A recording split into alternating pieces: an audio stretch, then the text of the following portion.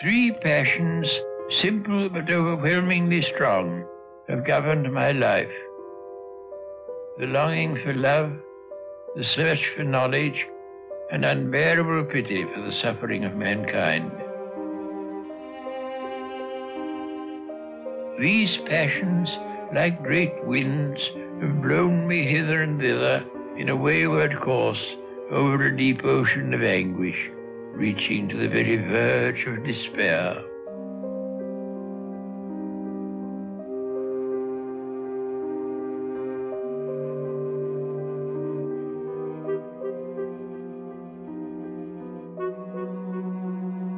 I have sought knowledge.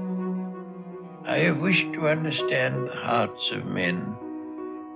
I have wished to know why the stars shine. I have tried to apprehend the Pythagorean power by which number holds sway above the flux.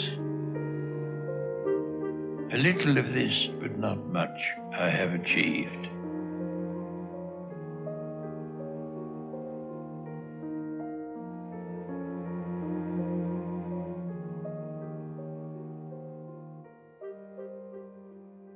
Have you found on the whole in your own life that the pursuit of either mathematics or philosophy has given you a, some sort of substitute for religious emotion? Yes, it uh, certainly did. I mean, uh, oh, well, until I was about uh, 40, I should think, I got uh, the sort of satisfaction that Plato says you can get out of mathematics. Was an eternal world, it was a timeless world. It was a world where there was a possibility of a certain kind of perfection.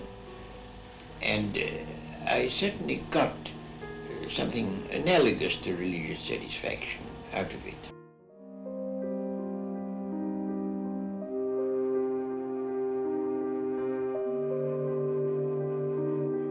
Love and knowledge, so far as they were possible, led upward toward the heavens. But always pity brought me back to earth. Echoes of cries of pain have reverberated in my heart.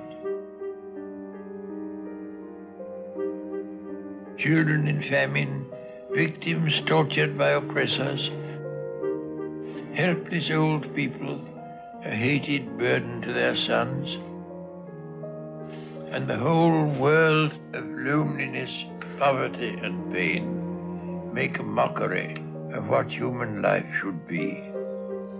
I long to alleviate evil, but I cannot, and I do suffer.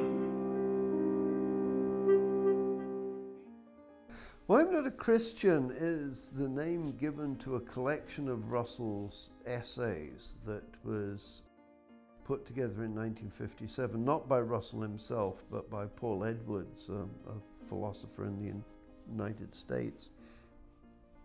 It brings together a lot of Russell's anti-religious writings and represents a good sort of summary of Russell's thinking about religion.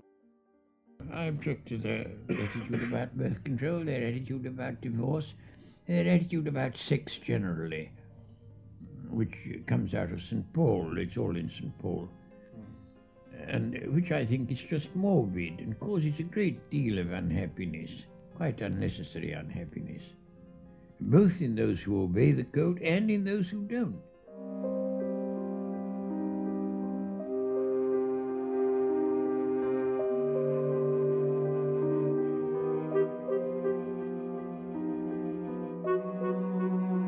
I have sought love first because it brings ecstasy.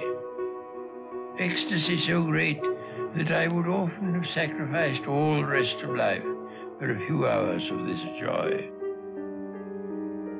In the union of love, I have seen in a mystic miniature the prefiguring vision of the heaven that saints and poets have imagined.